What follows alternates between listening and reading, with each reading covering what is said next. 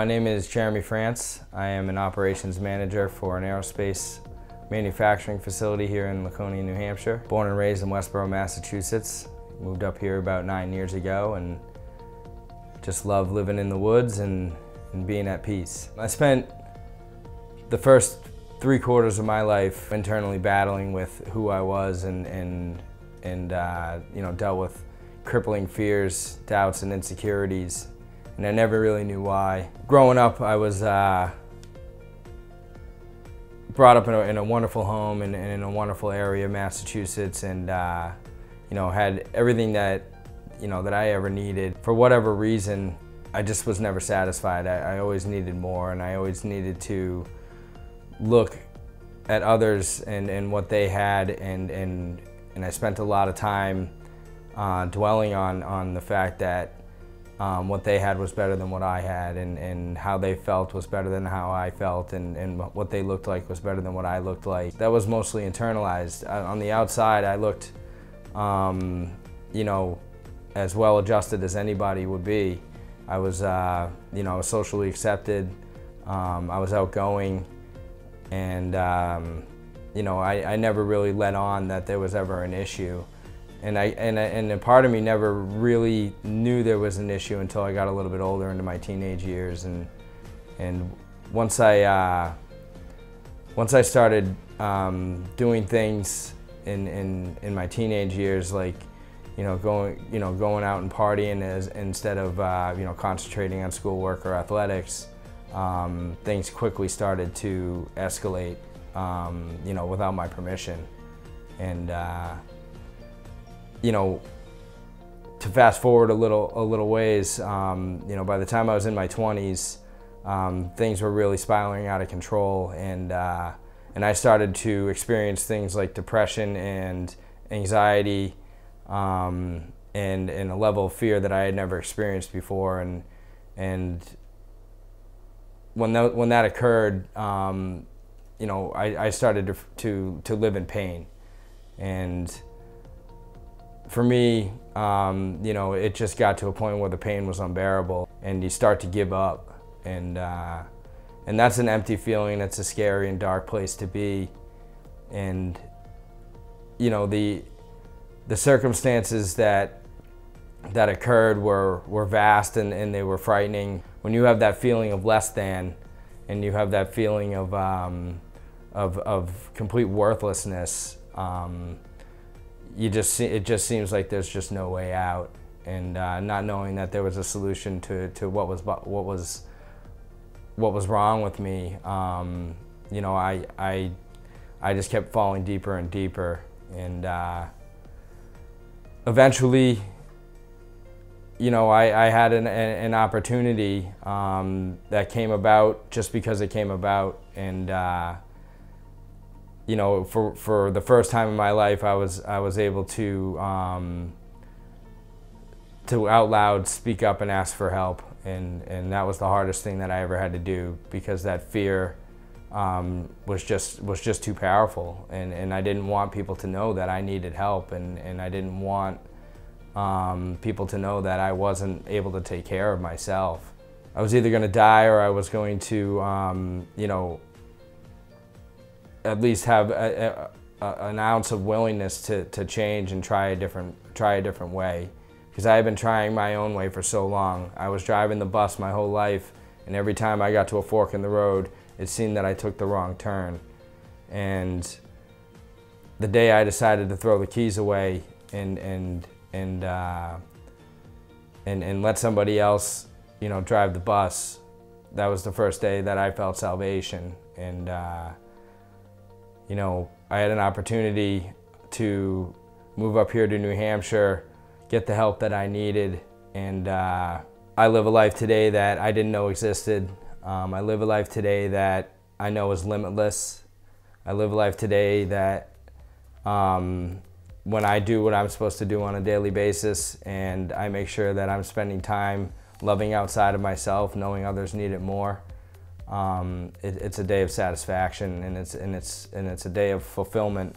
You know, for, for my father to, to tell me that um, he's proud of me, it's, uh, you know, that's that's better than any any any song I've ever heard on the radio or any any landscape that I've ever um, had an opportunity to photograph.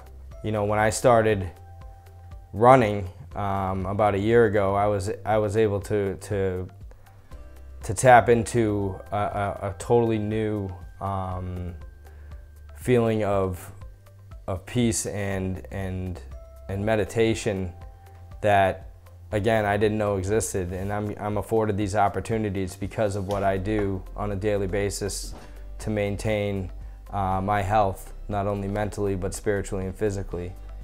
And uh, you know I never set out to be a marathon runner folks that are closest to me you know they, they laugh and we joke about you know about Forrest Gump and, and how he just started running. And, but, but that's the, the truth of it. I just got up and I started running and the next thing I know I'm running three miles and five miles and then eight miles and then 10 miles. And a, a good friend of mine said, hey, you know, I'm running New York. I'm running for the New York Roadrunners um, and a charity called the Run for Kids. And, and you have, uh, you know, an opportunity to raise some money for some kids in need. And, uh, and that started just an absolute um, new way of thinking um, when it comes to reflecting back in my childhood and how I never really wanted for for anything when it came to athletics. I didn't have to worry about where the equipment was coming from. I didn't have to worry about having coaches and, and trainers that were experienced in in uh, you know in mentoring young young kids. Um, and it got me thinking that all these all these kids out there that just don't have that opportunity and I wanted to be able to be a small part of, of, of being able to provide that that for them. And in the meantime, I'm running mile after mile and feeling better and better about myself um, and, and why I'm doing it.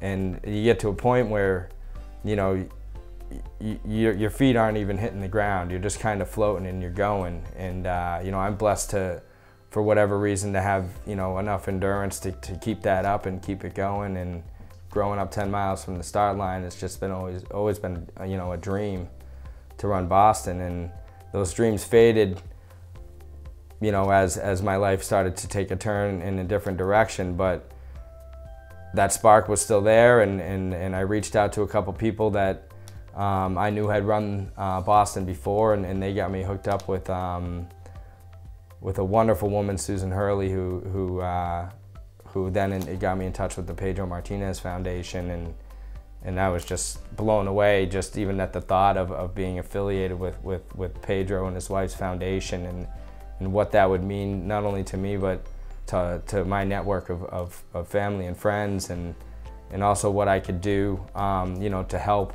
that foundation um, you know, raise money for kids not only locally but around the world and uh, to represent Pedro Martinez and, and his wife Carolina um, it's just a dream come true. Growing up um, an avid Red Sox fan. You know, my father had season tickets to the Sox. I spent so many days um, in that park, and, and, when Pedro came to the Red Sox, um, you know, it was it was a godsend.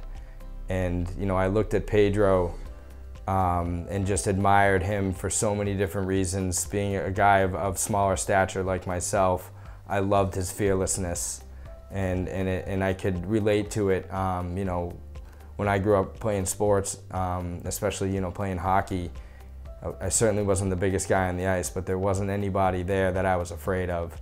And uh, you know, athletes and, and men like Pedro Martinez, um, you know, they just set such such an amazing example of of not only hard work and training, um, but also knowing knowing the mental aspect of, of athletics and, and how he would outthink um, you know, the opposing batter and what he would do, what, what his pitch selection was for each and every uh, opponent that he had. Um, you know, I have so many amazing memories of, of not only watching Pedro live, um, but also, you know, the run in 2004 was up at, at, that point in my life, one of the greatest experiences, um, you know, that I've ever had.